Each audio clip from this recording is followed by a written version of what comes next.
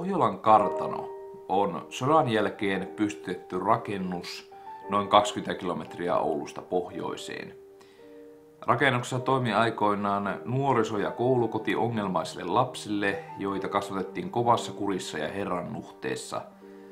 Rakennus pysyi toiminnassa aina 90-luvulle asti, kunnes lopulta jouduttiin sulkemaan syrjäisen sijaintinsa ja vakavien sisäilmaongelmien vuoksi. Mä oon itse pitkän linjan elokuvan tekijä ja mä oon myös pitkään harrastanut tämmöistä niin sanottua urbaania löytöretkeilyä. Mä oon aina ollut kiinnostunut tämmöisistä vanhoista rakennuksista, käytöstä poistetuista rakennuksista, vanhoista sairaaloista, virastoista, ylipäänsä vanhoista ää, paikoista, minne ei periaatteessa saisi mennä kun mä kuulin tästä Pohjolan kartanosta, niin mulla heräsi heti mielenkiinto, koska se vaikutti paljon suuremmalta kuin mikään aikaisempi, missä mä oon koskaan käynyt. Ja lisäksi kun mä tutkin sitä asiaa vähän tarkemmin, niin mä löysin siihen liittyvän semmoisen ihan mielenkiintoisen niin kuin, kummitusjutun. Se tuntuu kaikella tavalla täydelliseltä paikalta. Ja mä halusin dokumentoida sen koko kokemuksen, kun mä vierailen siellä. Mutta, mutta sanotaanko näin, että varmaan kukaan ei olisi pystynyt valmistautumaan, mitä mä siellä näin.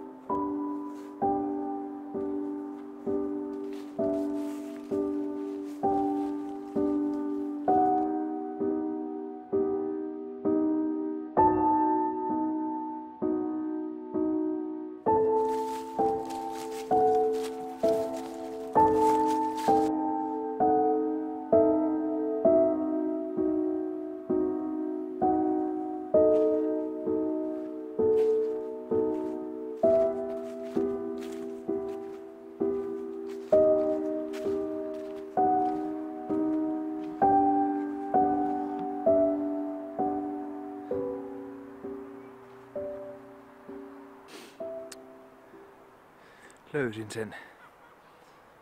Se näyttää aika hienolta.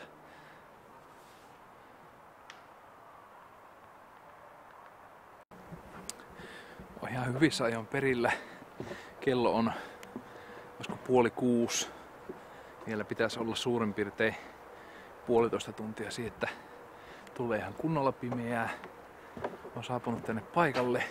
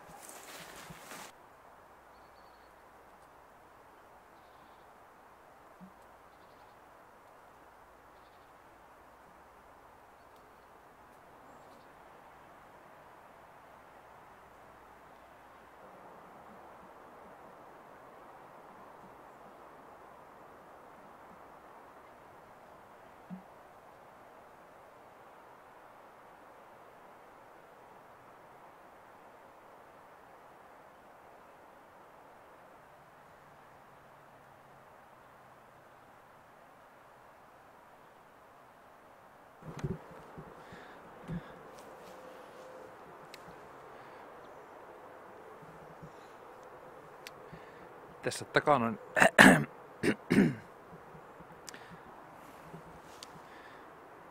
Tässä takanani avautuu näkymä Pohjolan kartanoon, sodan jälkeen rakennettuun nuorisokotiin ongelmaisille nuorille.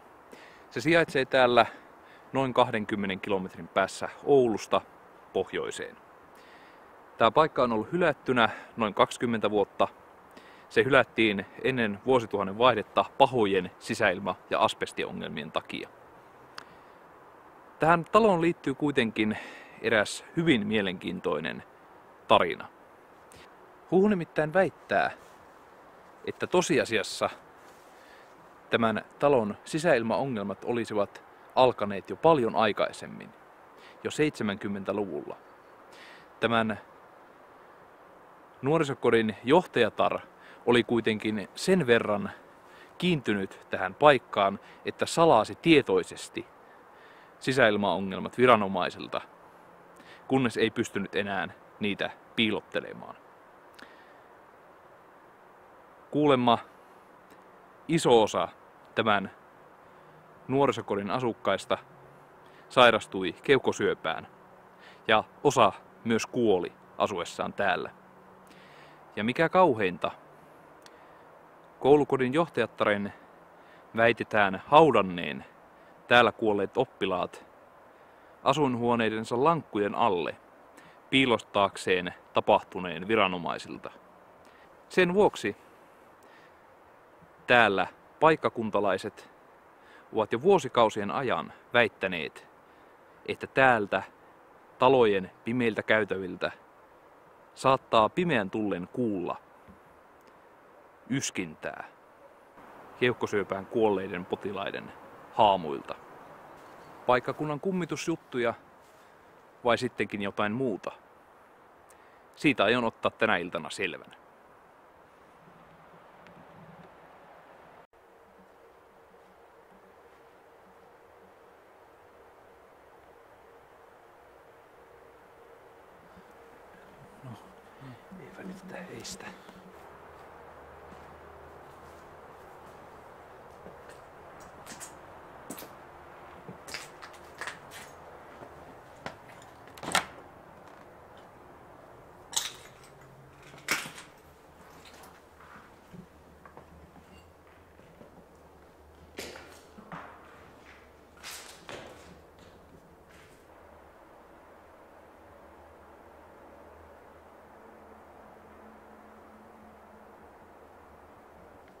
Tämä rakennus on tiettävästi tämän koko kompleksin vanhin osuus.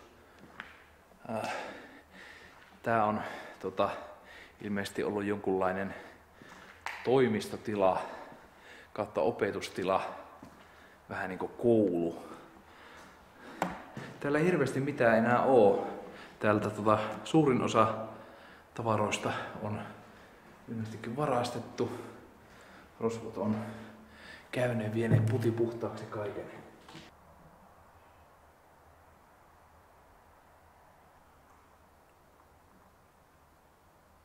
Heti huomaa, tota, kun tänne tulee, niin alkaa tota, heti huomaa, kun tänne tulee, niin alkaa kurkussa tuntumaan ja keuhkossa kihelmöimään. Tää taitaa olla se pahiten saastunut osa.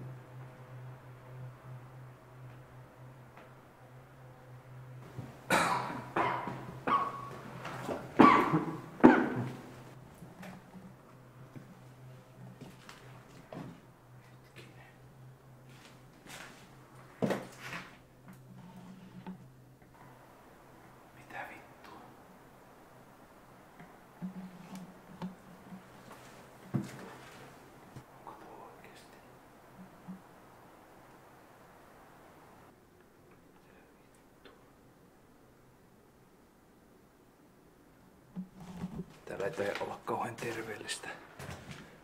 Taitaa olla aika vaihtaa rakennusta.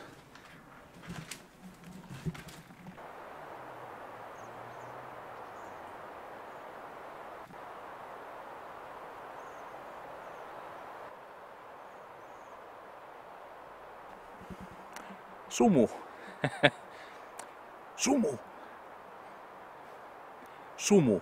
Tänne tuli yhtäkkiä tämmönen. Aika aavemaista. Tuota ensimmäinen talo oli ihan mielenkiintoinen. Äh, hirveästi siellä ei ollut enää mitään. Rosvo tuli viene kaiken. Äh, jonkun verran vähän alkoi kuumottaa sillä yläkerrassa, kun sieltä yhdestä huoneesta löytyi sitä jotain punaista. Olisiko jotakin paikkakunnan lasten jekkuja vai sittenkin jotain muuta. Sitä tulee vielä mielenkiintoinen yö.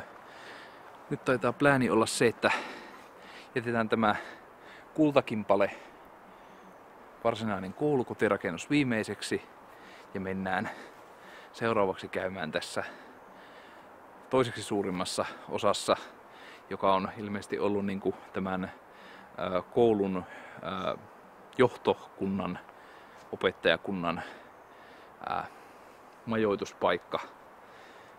Toivottavasti sieltä löytyy sitten jotain mielenkiinnoista. Täällä on ainakin hyvät puitteet tällaiselle kummitusretkelle.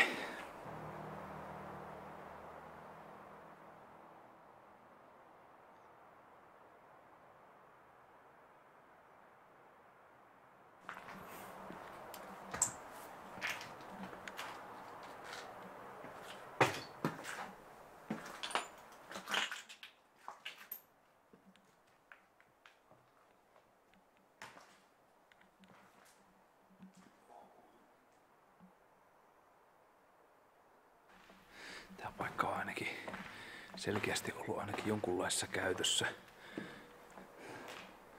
Täällä on vähän kaikenlaista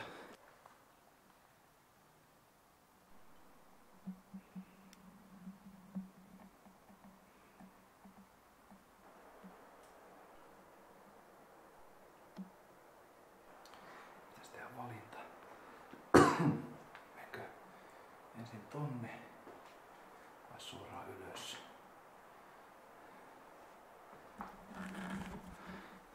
Mä jotenkin kuvittelisin, että ylhäältä olisi helpompi tulla alas.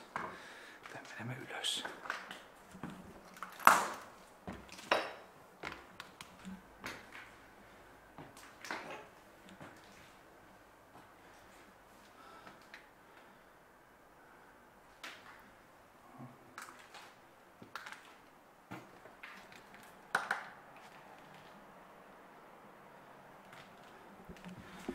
Sitten täytyy olla näitä huoneita, missä täällä on asuttu. Täällä on itse asiassa lisää.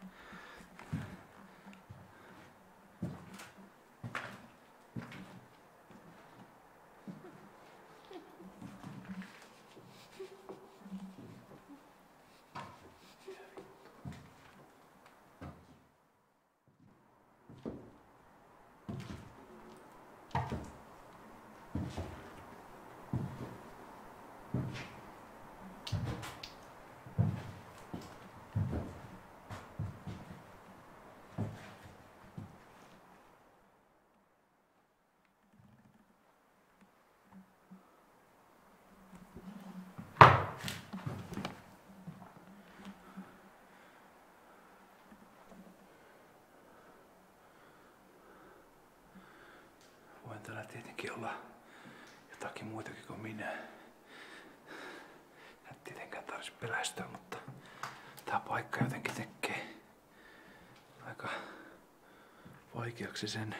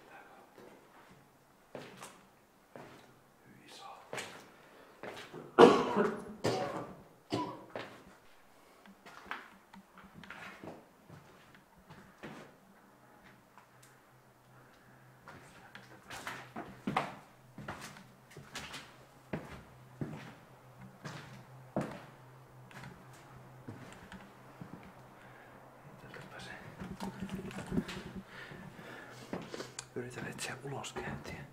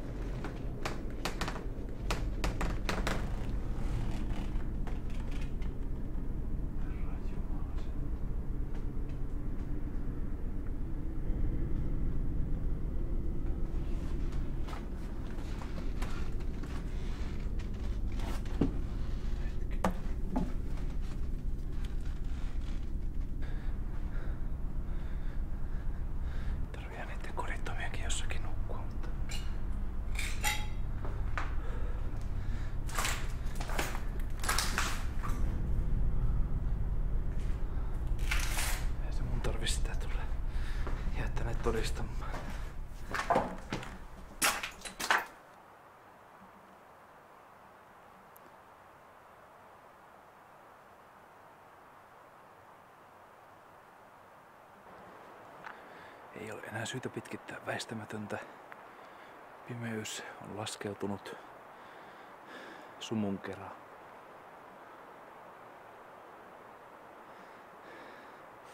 Kolme kerrosta.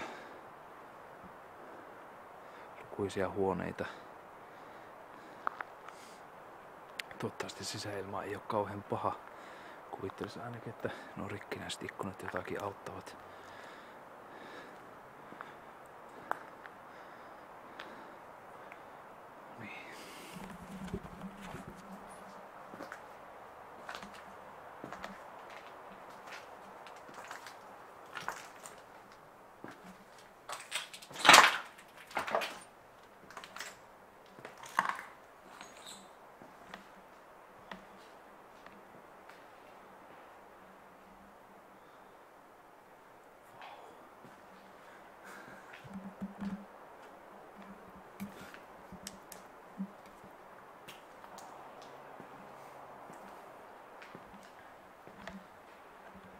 Kyllä komein paikka, missä oon ikinä käynyt.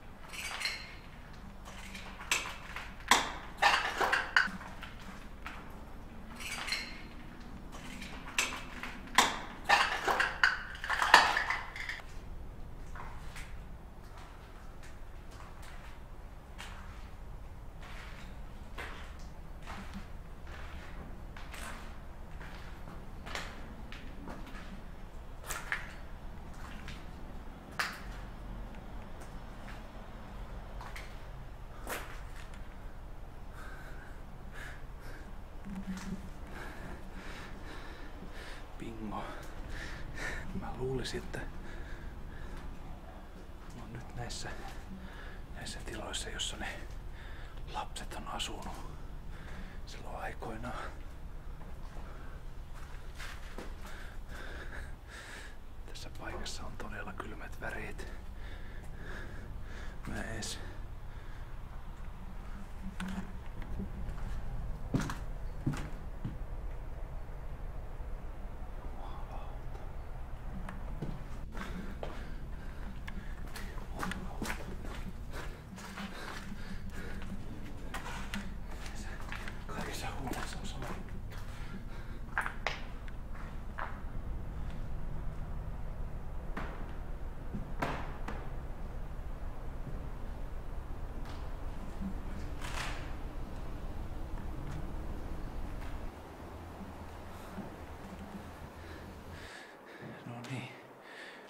Oon täällä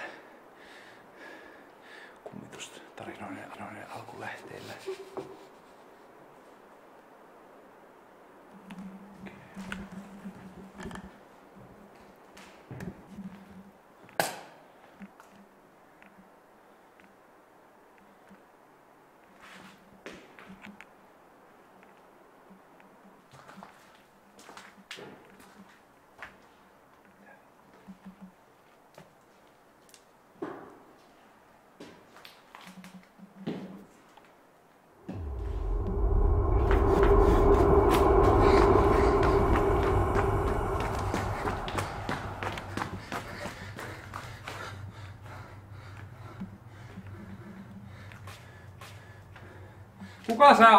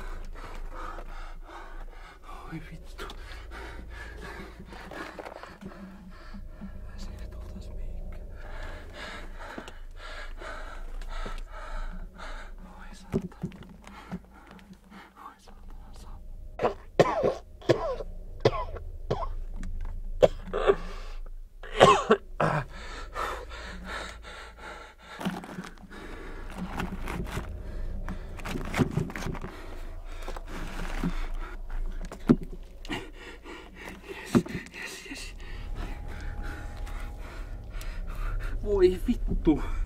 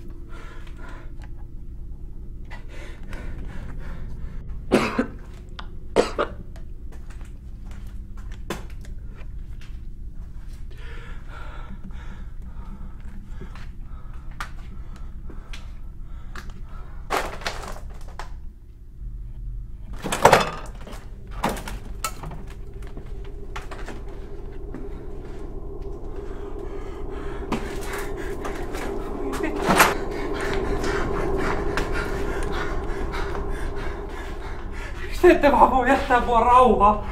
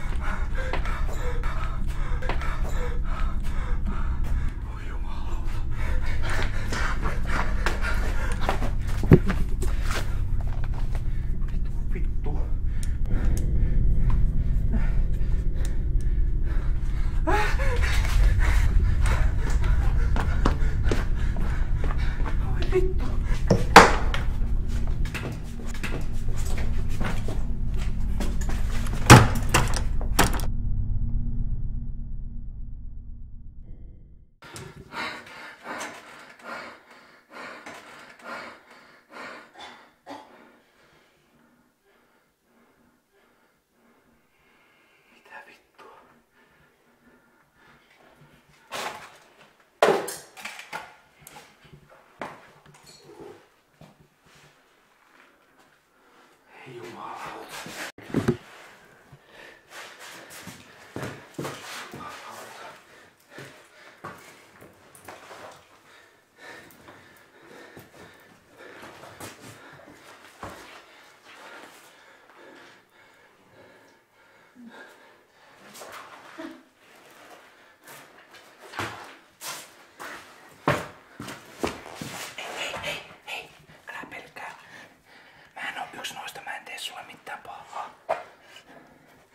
Pystytkö sä puhumaan? Mulla on valo. Ei jumalauta.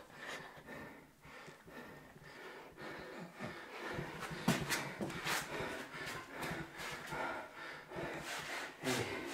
Meidän pitää päästä pois täältä. Pystytkö sä kävelemään?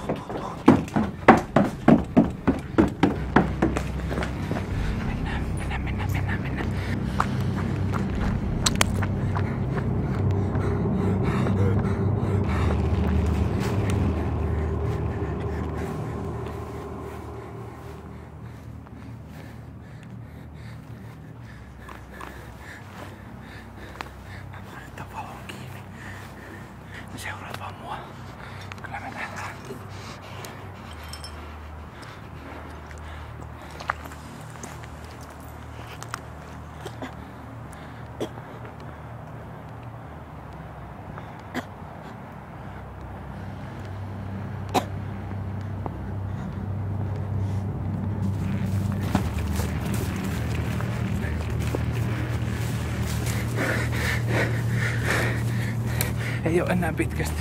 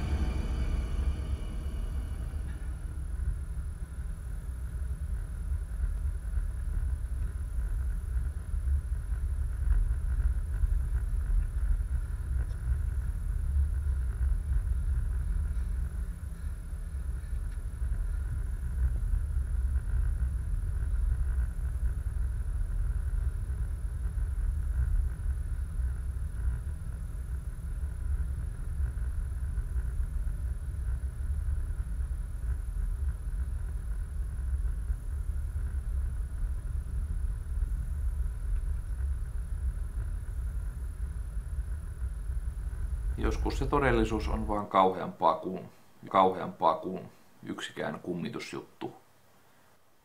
Poliisi löysi sieltä Pohjolan kartanon kellarista lähinnä semmoisia kuluneita verijälkiä. Ilmeisesti se, kuka ikinä siellä olikin ollut, niin oli osannut puhdistaa jälkensä.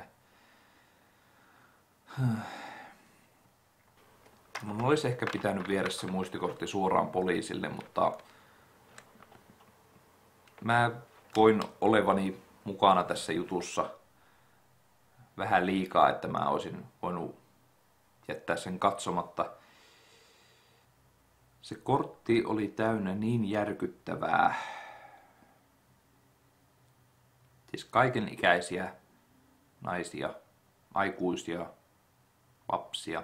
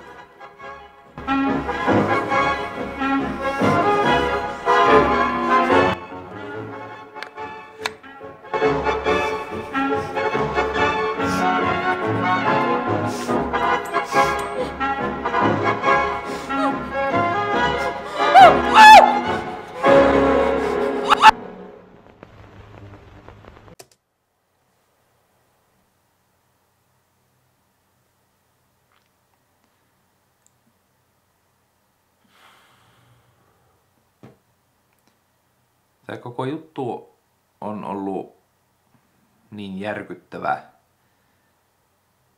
että Oikeastaan mä en ole hirveästi edes kerennyt ajattelemaan niitä kahta tyttöä, jotka mä näin siellä toisessa rakennuksessa ja kellarissa.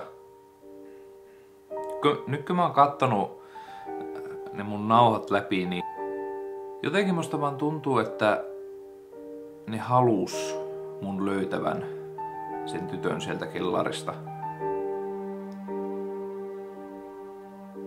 Ehkä se oli kauheinta, mitä ne pystyi tekemään.